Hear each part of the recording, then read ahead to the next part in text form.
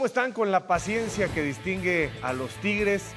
Fue cayendo la gota y poco a poco impone Tigres su jerarquía, el peso específico, un primer tiempo bastante soso, con los canadienses tratando de generar algo, pero pues su puesta en escena es muy limitada y ya platicaremos del contexto en general, de lo que crecen los equipos en la CONCACAF, pero finalmente se abrió el marcador, Quiñones hace el primero, después de tocar varias veces la puerta. ¿Cómo está Roberto Gómez Junco?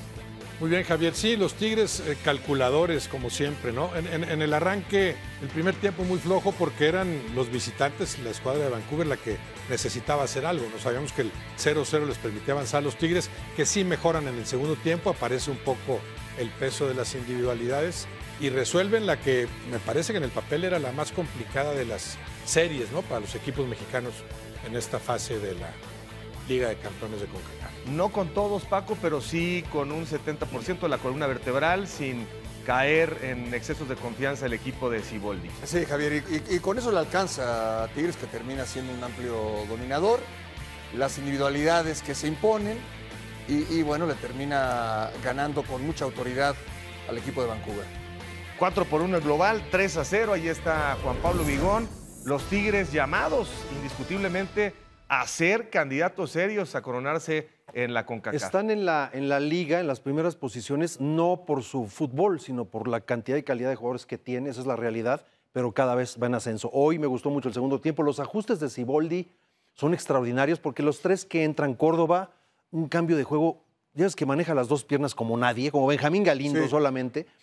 Este, eh, después entra Laines que pone servicio de gol, Bigón termina anotando, o sea, muy buenas correcciones para ir más al frente y redondear el, pa- el partido sin ningún problema. Gran segundo tiempo de Tigres y lo veo en franco ascenso. Y de los que hemos visto hasta ahora en esta primera etapa, de los centroamericanos, norteamericanos, este equipo de Vancouver, de lo mejor, ¿no? Con sus limitaciones, con su eh, problemática para crecer, pero contrastando con otros equipos, es de los más serios, ¿no? Y entendiendo que ellos todavía no están con ritmo de competencia, que esto todavía es parte de su pretemporada, tomando en cuenta que todavía no arranca la campaña en la MLS. Me gustó la flexibilidad en defensa por parte de Tigres, que en el papel parecía una línea de tres con Samir Caetano, con eh, Purate y con Jesús Angulo, y con eh, Garza y el caso de Ociel Herrera por el otro costado, pero después la forma en cómo recorrían para que Ociel Herrera se convirtiera más en un extremo y podía quedar en una línea de cuatro.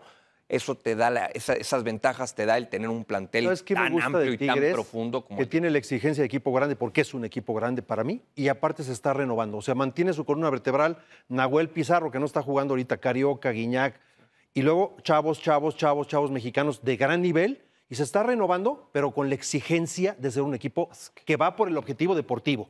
No como Pachuca y Santos que toman cierto crédito y van con el transcurso de tiempo sacando jugadores y peleando el título. Es un proyecto muy bien llevado, me parece, por Mauricio Culebro. Hacia el futuro inmediato, Paco, ¿qué tanto le beneficia a Cruz Azul que Tigres, ya volviendo a la liga, que Tigres haya jugado hoy con esta cantidad de titulares?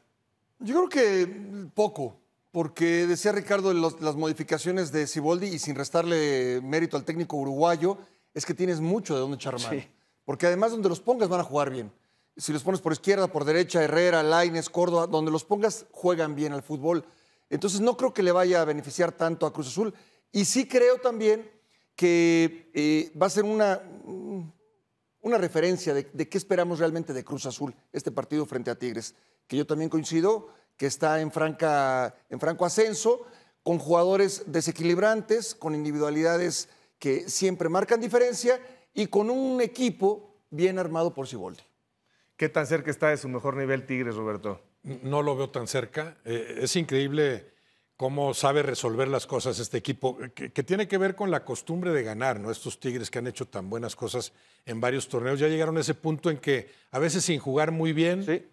Eluden la derrota, a veces jugando regular ganan los partidos y después responden en momentos cruciales. Pero no, no veo el fútbol colectivo de Tigres que sí veo en el Monterrey, por ejemplo, ya no digamos en el América. Y el Cruz Azul que va en pleno ascenso. Pero siempre los Tigres con esa posibilidad de responder de acuerdo a lo que presente el adversario. Será una muy buena prueba para Cruz Azul, pero creo que también para Tigres, porque los Tigres han tenido muy buenos resultados sin tener un magnífico funcionamiento y un Cruz Azul en pleno ascenso creo que los obligará a más cosas. Yo creo que los Tigres tienen una deuda, ¿eh? Una deuda con su propio pasado reciente y su presente. Yo quisiera ver a los Tigres finalmente con ese potencial económico que tienen, con esta calidad de plantel, presentándose ante el mundo de una manera distinta. Ya lo hicieron con cierta brillantez. Sí, en el Mundial de Lo Clubes. lograron. Sí, sí, sí, Contra pero Palmeiras y luego con- contra Bayern Múnich. Sí, pero con los cuestionamientos que se generaron con razón o sin razón por parte de un bloque de ir a buscar más que simplemente cerrar, ¿no? Porque en aquella ocasión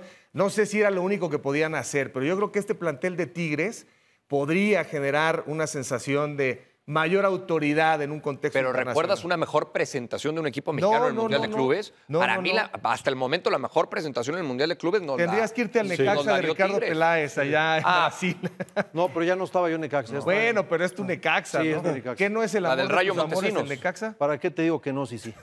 Ahora, eh, Javier, es el, el eterno dilema con Tigres desde que estaba el Tuca. Es que este Tigres hay que exigirle más y al de Siboldi hay que exigirle más por la clase de jugadores que tiene. Sin embargo, ganan títulos. Sí, y sin sí. embargo, son protagonistas. Siempre hay una exigencia, es cierto, pero yo creo que es un equipo que termina ganando. Jugando bien, jugando Sí. mal. ¿Puede jugar mejor? Sí. Pero los resultados ahí están. Sí, no, la eficiencia está Sí, fuera de toda Bruneta duda, ¿no? ya le encontraron la posición. Cada vez lo veo Por dentro. mucho mejor a Bruneta, por dentro Sí. exactamente, y no tanto por fuera. Está tiene velocidad, habilidad, tiene pase de gol, tiene gol. Gran jugador, gran contratación. En realidad la materia pendiente para Tigres quedó en aquel partido contra River, ¿no? Sí. Ya no se va a volver a presentar, probablemente una oportunidad así para un Final equipo de mexicano, Libertadores. Porque era una final de Libertadores que parecía propicia por lo que en ese momento eran los Tigres, muy parecido a lo que siguen siendo, ¿no?